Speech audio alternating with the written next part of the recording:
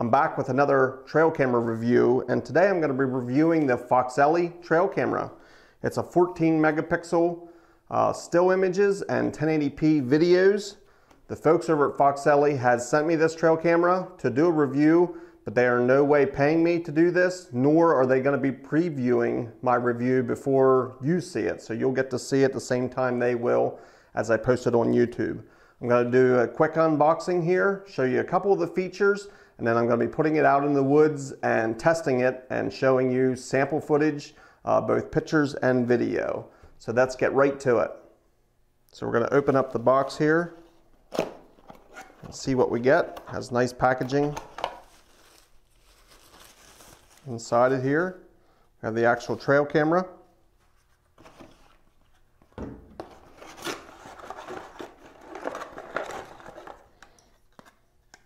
Looks like a free flashlight. It's pretty neat.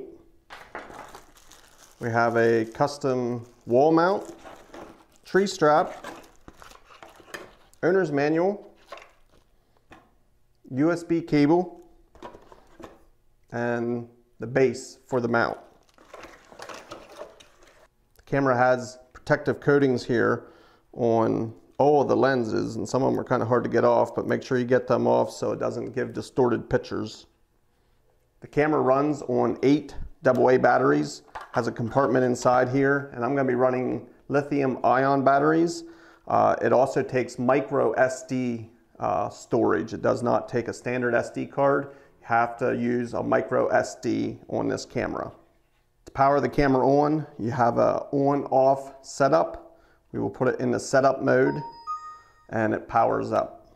The Foxelli cam, uh, this is a new and improved over previous versions and some of that improvement is in the 42 IR bulbs. Uh, it's supposed to be an upgraded, so we'll definitely be testing that out at nighttime to see the pictures and video quality. It has a built-in LCD screen where you can access the menu and also have a live preview of your camera. It has a lot of settings as far as PIR sensitivity. It has a time-lapse mode. Video length can be set up to 10 minutes long. Uh, so I find it has a lot of options. As a first glance, the latches do seem a little cheaper compared to even some of the other trail cameras I have reviewed, uh, but hopefully they'll hold up and that will not be an issue. It does have a 6 volt external port and a quarter 20 accessory screw in here for the bottom uh, that you can put it on a tripod or the supplied mount. Some other observations for just seeing this for the first time is I like the camo pattern. Uh, I think it'll blend in well with most environments. The tree strap mounts here on the back of the camera look like they could be a potential weak point, especially in cold, brittle weather, um, but that's yet to be determined. So overall, looks like a great camera. We're gonna put it out now and put it to the test. Well, I made it out here to my property and I have my Fox Foxelli with me with the tree strap. I have a small stream running down here and I'm just following it down to a opening and I'm planning on placing the camera there. We should be able to get some animals coming through there and get some good good footage and see what the camera does. So this is the tree that should work for me. Uh, it's overlooking this little opening and have a creek crossing here. I'm going to mount to the tree with the tree strap. While I'm here, I just want to give you uh, one little pet peeve of mine, and I don't know if the manufacturers are listening or if they care, uh, but there's basically two styles of cameras that you can make. One that when you swing it open, you have the batteries over on this side, but look where the lens is when you swing it open. Makes it very difficult to set it up on the tree and get the right field of view that you want.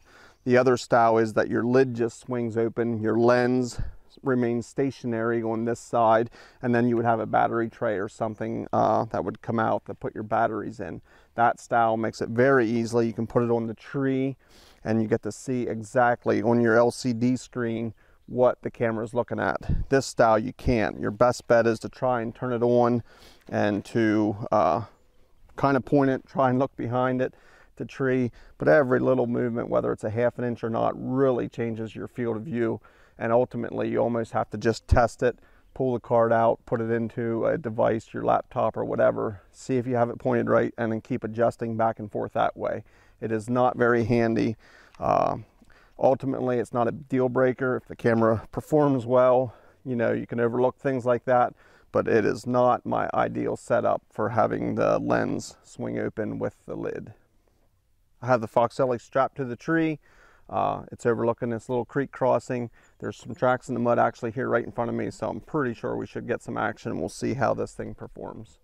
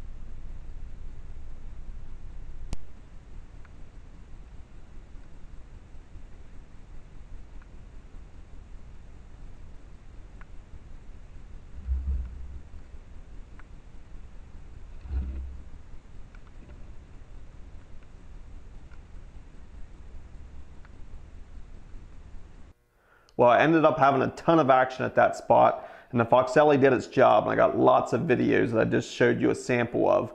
I also took the supplied mount and I often will use that to mount it high in the tree, angle it down. But in this case, I actually used this and mounted it low to the ground and pointed the camera up just to get a little different perspective. I then set the camera on photo and video mode so that I would have sample photos to show you. I'm going to show you those photos and videos now.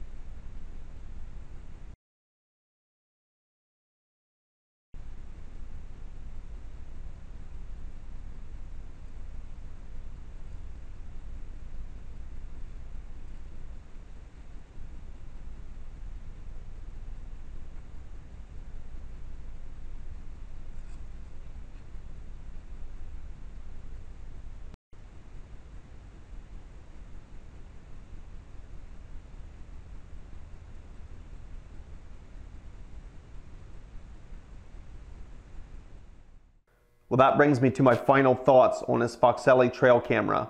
After seeing the sample photos and videos, it is very hard to be displeased with this camera. I absolutely love it. The photo quality and video quality especially is great. The frame rate of this Foxelli, it actually shoots the video in 25 frames per second. That's something to look out for because some of the manufacturers dumb that down to about 15 frames per second and you got a lot of choppy looking video. 25 frames per second is pretty good for trail cameras and I think that makes a difference in this situation. Also, the night IR bulbs do a great job. Sometimes you get a spotlight effect where just the center of the field of view is lit up, but the edges get really dark. If you look back through that footage, it is great illumination. I am very happy with that. The detection range is something else I wanted to touch on with this camera. In the sample footage, that one video of there was a possum, and it was actually on the other side of the creek that is over 90 feet away from this camera. The camera triggered, and you could actually see that and illuminated at night over 90 feet away, and I was very impressed with that. If there was anything negative I had to pick apart about the camera, it would probably be its audio. Many manufacturers struggle with getting good audio, and that comes from having a waterproof housing and then trying to get a microphone to pick up ambient noises around it.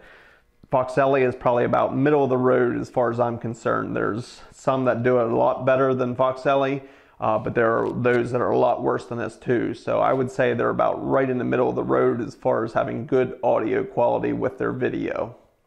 Well, to wrap this all up and to give my final thoughts, I absolutely love this Foxelli camera. I think you could take this camera and put it up against cameras twice its value, and the Foxelli would probably still come out on top. Its picture and video quality are great. The battery life has also been great with it. I've taken close to 2,000 pictures and videos with this and I'm still on the original set of batteries and it's still showing full battery life. I was pleasantly surprised with its price point and its performance. I think you would be very happy with this. I appreciate you watching. Subscribe if you haven't yet and we'll see you in the next video.